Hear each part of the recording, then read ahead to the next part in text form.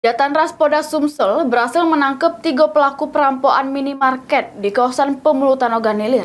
Di aksinya, pelaku ngancam pegawai minimarket dengan guna kesen.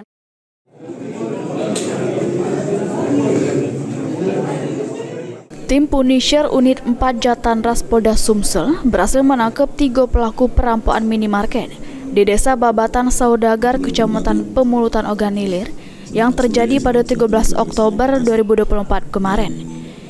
Ketiga tersangka ialah Joni, Ahmad Rizky, serta Junaidi. Direktur Reserse Kriminal Umum Polda Sumsel menyebutkan, para tersangka masuk ke minimarket mengancam pegawai dengan guna kesan pi supaya tidak melawan. Kemudian tersangka menguras isi laci kasir ngambil duit 6 juta 600 ribu rupiah, HP pegawai, serta beberapa bungkus rokok. Akibat perbuatan para pelaku, minimarket tersebut mengalami kerugian mencapai 15 juta rupiah. Keluarga Ida, keluarga kampung, satu kampung.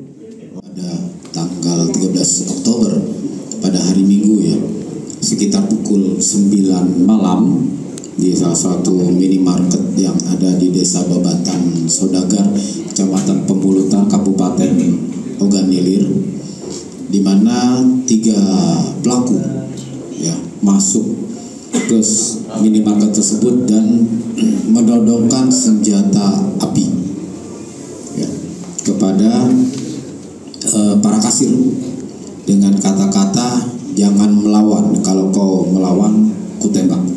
Ya, intinya ada ancaman dengan senjata api Akibat perbuatannya, ketiga tersangka dikenakan pasal 365 KUHP terancam hukuman 10 tahun penjara.